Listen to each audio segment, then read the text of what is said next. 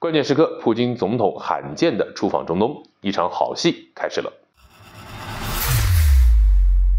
大家好，欢迎收看马超说。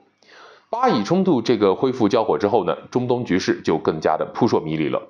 在这个关键时刻，有一个国家的领导人出访中东了。那么，不过这一次呀，不是美国，而是俄罗斯总统普京。根据媒体的报道呢，最近这个俄罗斯总统就顶住了美西方的压力，按照计划前往沙特和阿联酋进行访问。我们看到他的这个行程是非常的高调啊，非常的拉风的，有四架战斗机护航。当然呢，对于这种国家领导人出访的活动来说，普京的这次行动啊，这次出行的时间并不算长啊，甚至可以说是一种闪电式的访问，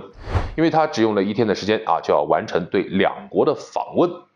但是这种闪电式出访的背后释放的信号却是相当明确的啊！用美国的媒体的话来说，就是非常罕见。这种罕见呢，不仅仅是指普京的出访地点，在当前局势非常敏感的这种状态之下，更是指的普京出访本身非常的罕见，表现出来的这种重返国际舞台的姿态啊是非常罕见的。我们知道，从这个俄乌冲突爆发之后到现在啊，打了快有两年了。以美国为首的西方国家对俄罗斯的制裁是不断的在加码的，不仅仅是从经济贸易等方面啊，对俄罗斯展开这个围追堵截，更是对普京本人是下了狠手的啊，以国际刑事法院的名义呢，对普京发出了逮捕令。比如啊，此前南非召开金砖峰会的时候，就受到了美西方的高度施压，要求他们当场逮捕普京。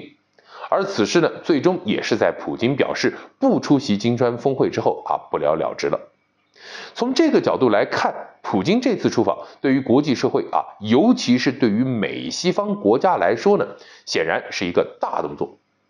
我们具体来说啊，他这次访问沙特和阿联酋，应该是有四件事情要来谈一谈。第一呢，是商讨巴以冲突。第二是和沙特啊这些石油大亨来聊一聊未来石油生产供应的事情。那么第三是要加强俄罗斯与中东国家在经济、金融等领域的合作。此外啊，还有最重要的一点，那就是不排除普京此行是要寻求中东各国在俄乌谈判上对俄罗斯的支持。我们说，不少人看到普京出访这个消息的时候呢，第一反应就是说，这个俄乌局势应该是稳定住了，才让普京啊放心的可以出访。那么这话说的啊，确实也不假。就在这个本轮巴以冲突爆发之初的时候，我们在节目里面也预判过，就说巴以冲突对于俄罗斯来说可能是一个机会，能够借机扭转局势。随着美国双线作战开启之后呢，资源不足的问题是越来越明显。我们看到，原本本来是要给乌克兰的这些钱啊、武器啊，现在都分给以色列了。在这样的一个情况之下，尽管泽连斯基还在嘴硬啊，说是相信美国有能力支持乌克兰，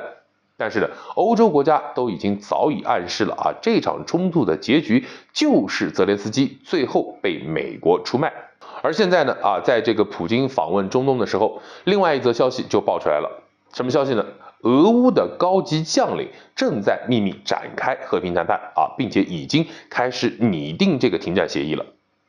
而且呢，透露这一消息的美国官员还表示啊，说目前普京对于这个和谈一事呢，并没有提出异议。相反呢，这个乌军将领啊参与谈判，很有可能是绕过了泽连斯基的，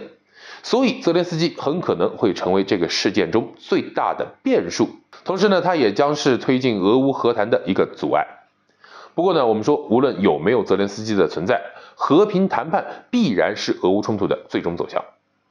总之就是一句话啊，全球一盘棋，巴以冲突和俄乌冲突看似两场毫不相干的战争啊，不仅是暴露了美国地主家没有余粮的这样一个困境，同时呢，也暴露了这个棋子泽连斯基在美国的一次次战略推演中，已经是注定了啊要被出卖的这样一个命运。如今呢啊，一边是乌克兰反攻表现不佳。一边是亲上加亲的以色列，